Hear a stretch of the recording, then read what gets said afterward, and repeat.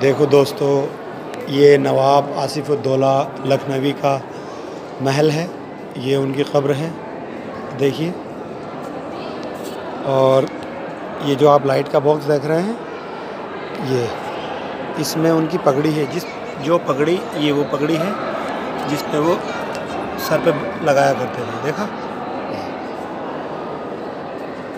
और ये सब उनका नाम लिखा है। नवाब आसिफुद्दौला। सत्रह सौ सत्तानवे।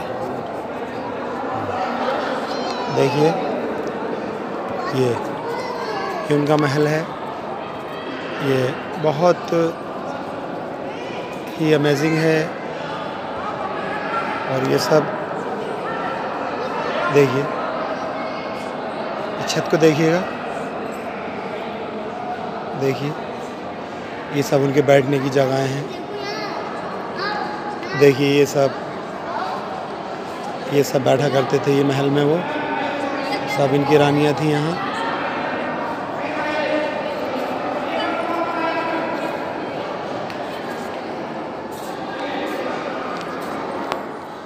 ये कितना बड़ा महल है। अभी हम दरवाजे के बाहर जा रहे हैं। देखिएगा। ये निकल रहे हैं हम। अभी आपको दिखाएगा कि ये बहुत ही बड़ा किला है। देखिए, हम जा रहे हैं। ये उनका तस्वीर है नवाब सिराजुद्दौला की और यासिफुद्दौला की।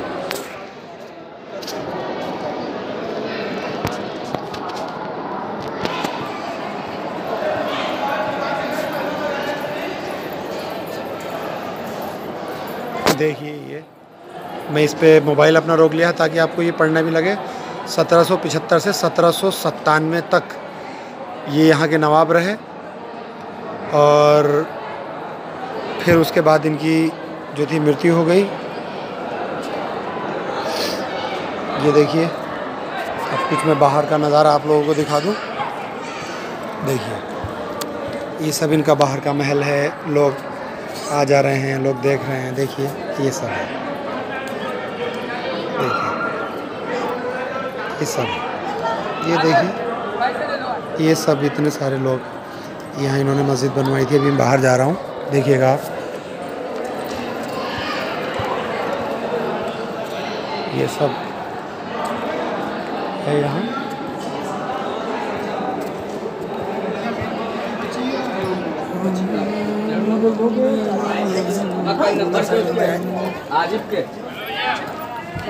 ये देखिए, ये मस्जिद है।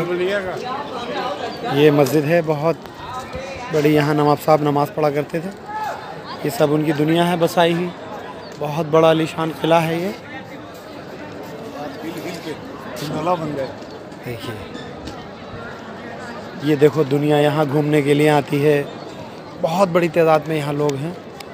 और ये देखिए, ऊपर ये कितना बड़ा उनका किला है। देखिएगा। ये सब बहुत लोग यहाँ पर मौजूद हैं।